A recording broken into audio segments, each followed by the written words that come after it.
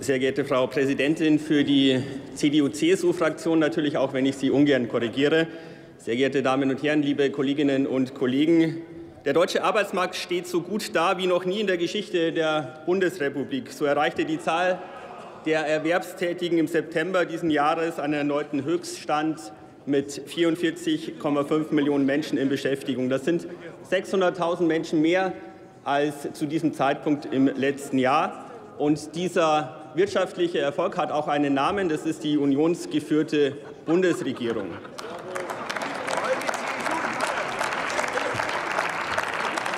Bayern läuft es natürlich noch mal besser, Kollege Ernst. Aber gleichzeitig merkt man einmal mehr bei einem geplanten Stellenabbau wie jetzt bei Siemens, dass die gute wirtschaftliche Situation nicht Gott gegeben ist. Wir stehen als Wirtschaftsstandort im internationalen Wettbewerb und sind durch unsere Exportorientierung auf die Weltmärkte angewiesen wie kaum ein anderes Land.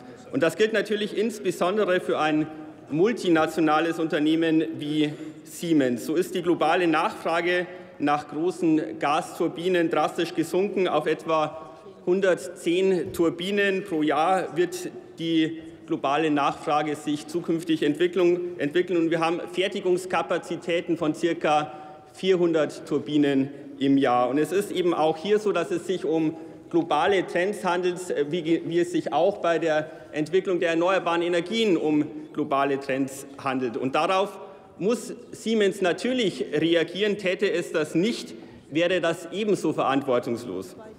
Allerdings gilt es auch zu betonen, dass gerade Siemens an anderer Stelle vom Umbau der Energieversorgung massiv profitiert, beispielsweise beim Ausbau der Offshore-Kapazitäten. Das zeigt sich auch in der Gesamtprofitabilität des Unternehmens. Und jetzt muss ich schon auch sagen, dass ich mir die Kommunikation von Siemens hier sicherlich anders gewünscht hätte. Es geht nicht, dass die Arbeitnehmervertretungen vom geplanten Stellenabbau aus den Medien erfahren. Einen solchen Stil mag man vielleicht im Umgang von Parteien intern manchmal gewohnt sein, aber das ist kein Umgang auf Augenhöhe. Und das müssen wir aus Politik natürlich auch klar sagen, das müssen wir klar anmahnen.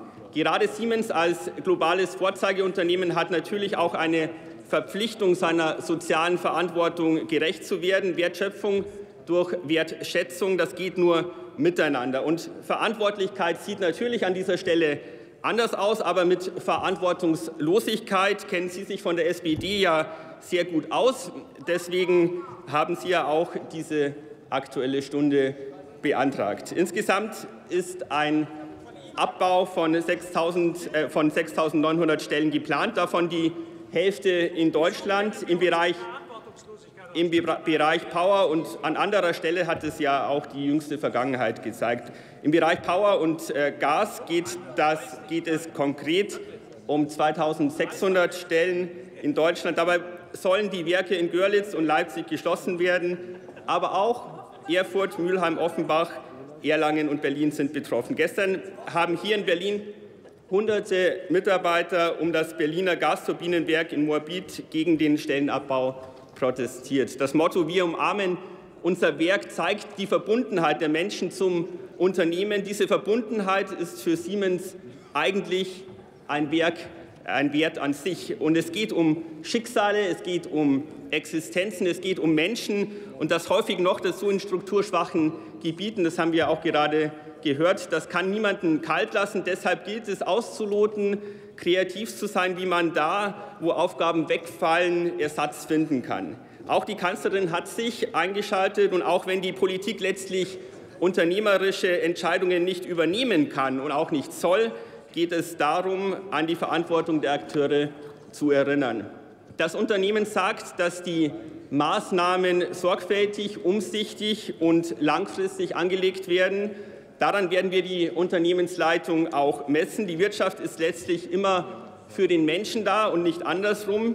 Der Unternehmensgründer Werner von Siemens meinte, mit tätigem Eingreifen in die gefürchteten Räder des Schicksals kann man manches Unheil abwenden. Diesen Geist wünsche ich dem aktuellen Unternehmen auch. Herzlichen Dank.